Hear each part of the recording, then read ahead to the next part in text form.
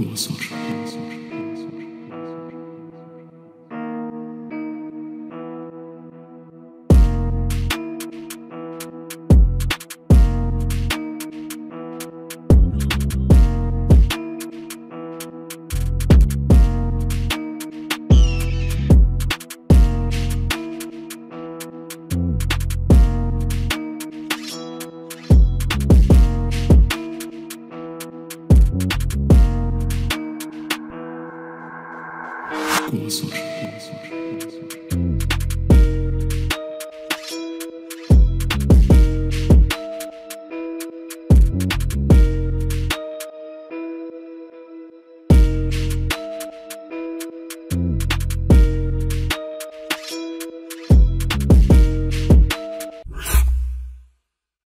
Angry families of missing Russian soldiers defy Putin. Since President Vladimir Putin invaded Ukraine, the Russian Federation has sent hundreds of thousands of Russians to battlefields that have become charnel houses.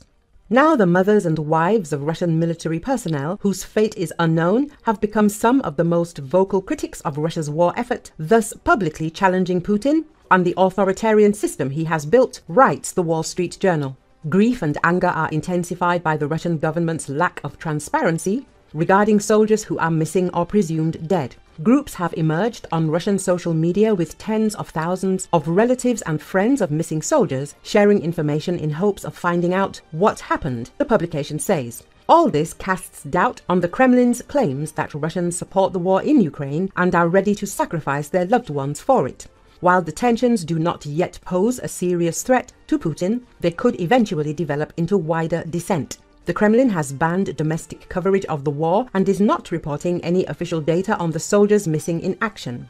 The last time the Russian Defense Ministry provided public data on the number of its soldiers killed in Ukraine in September 2022, when it was reported that 5,937 people were killed. The US estimates that more than 300,000 Russian troops were wounded or killed, the Wall Street Journal writes. Sergei Krivenko, head of the Russian human rights organization Citizen.Army.Pravo, which advocates for the interests of Russian soldiers, said the military is not prepared for such a volume of losses and does not have special units responsible for evacuating fallen soldiers from the battlefield. There is also an opinion that dead fighters are abandoned so as not to pay compensation to their families.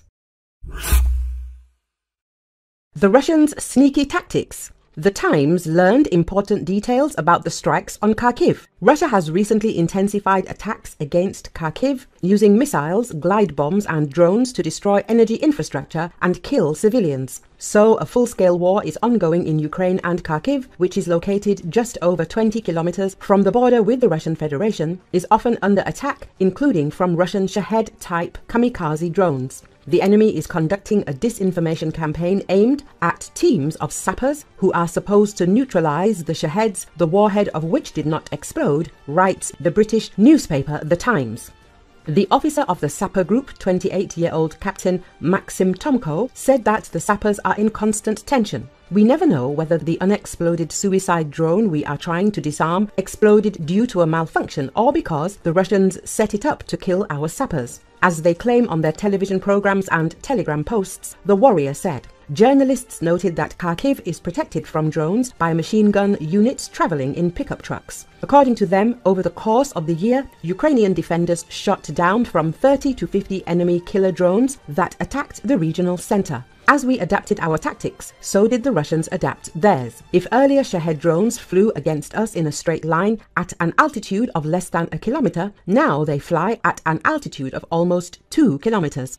Without proper air defense, it is becoming increasingly difficult to shoot them down, said the commander of the 302nd Anti-Aircraft Brigade, Lieutenant Colonel Alexander Kozlov. The occupiers have already hit the regional center many times with drones and missiles, there are many casualties, injuries, and destruction. In addition, the Russian Federation is dispersing information about an alleged attack on Kharkiv and the capture of the city. In Ukraine, they called it an information psychological operation. Ukrainian new effective kamikaze aircraft came as a surprise to the Russians at the front. In addition to FPV drones, the Ukrainian Defense Forces began to use kamikaze aircraft against the armed forces of the Russian Federation. Oles Malyarevich the deputy commander of the Achilles Shock UAV Battalion of the 92nd Air Assault Brigade, speaks about it in an interview with Channel 24. He noted that powerful long-range kamikaze aircraft are used for attacks on the territory of Russia. In return, the troops at the front use small kamikaze aircraft to clear the territory from enemy air targets within a radius of up to 20 kilometers. Such devices cost about the same as FPV drones or a little more expensive. At the same time, they sometimes turn out to be more accurate and reliable. A very interesting and effective weapon. You always understand what the goal is, what the situation is with the enemy's electronic warfare, and decide to apply something, either a kamikaze aircraft or an FPV. This is just one of the additional funds that has appeared at our disposal, he explained. Oles Malyarevich noted that drones are produced in Ukraine and the troops have the opportunity to directly contact engineers to improve the technology. The invaders are trying to intercept data on these devices and strive to make them ineffective, so the devices need to be constantly improved. This is a war of technology. That is, there is no time to relax here, the military said. Recall that on April the 26th, the Russian Federation showed a photo of an unmanned kamikaze aircraft, with the help of which it is claimed the Ukrainian Defense Forces struck at Russian territory.